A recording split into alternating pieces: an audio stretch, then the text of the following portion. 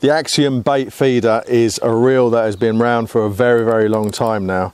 And really it's testament to the engineering prowess of Okuma. The longevity of these reels is remarkable. I see these everywhere. I've seen them everywhere for a long, long time. And if there is one thing that is a cornerstone of Okuma reels, it is the engineering. It won't let you down. It lasts forever. These are like the Volvos of the fishing reel world. They just go and go and go. Fantastically engineered, highly durable.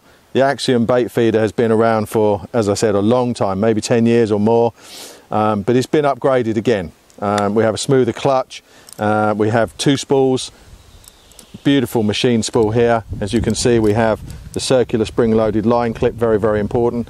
Um, this is, it needs pointing out, uh, an entry level reel. You know, this is very, very affordable. You want a set of three, it's not going to break the bank. A set of four, hardly anything. So we have the bait feeder there, obviously tension adjust. This is all, all of the uh, clutch, rear and back is sealed.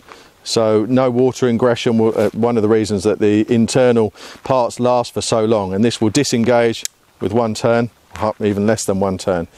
Infinite anti-reverse, so as you move the handle, will not move backwards at all very, very smooth, sealed rotor housing, and the Axeon is just one of those workhorse reels that you can use for heavy carp fishing. Two sizes available, so if you get the smaller size, you can use for river fishing, canal fishing for smaller carp, maybe mobile fishing or heavy fishing for barbel. So the Axeon bait feeder has been around forever, and the reason is the solid Okuma engineering. It's going to be around for a lot longer, and with the upgrade, it's set to be even more popular.